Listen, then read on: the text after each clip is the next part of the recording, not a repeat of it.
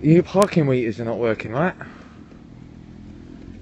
Did, did you say earlier your, park, your, your parking meters are not working?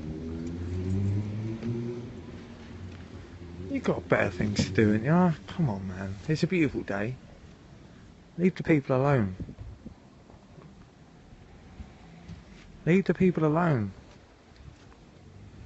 Yeah, being harassed on Saturday night. Harassed, he reckons. Harassed. I've just, just literally approached him as I started recording then. But, um, if he wants to, to cease in his work just for a moment, just to engage, I'm just hoping to engage with you, sir.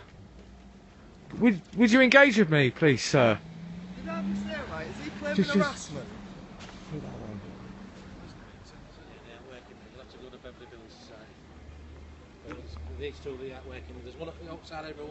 This is the same place that I, I made that video before uh, with the traffic wardens, where they were ticketing a disabled person in a free car park.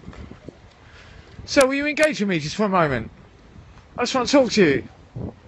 He's walking away from the car park. Uh, Ooh streets. Ooh streets.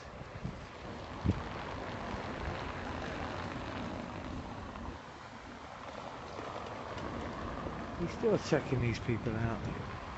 He's a wrong, isn't he?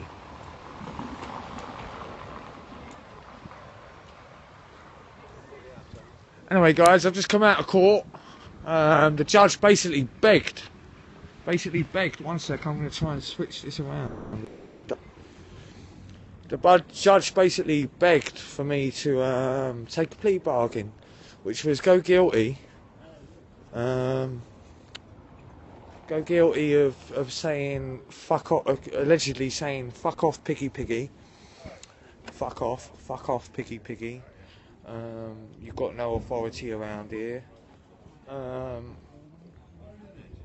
and I've never said anything like that to anybody on that day.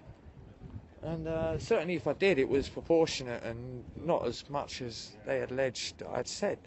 We've got case law that that proves that police are um, trained to resist being alarmed, harassed, or distressed by by such uh, pedantic words. Just, just they're trained. They're they're they're hardened professionals, right?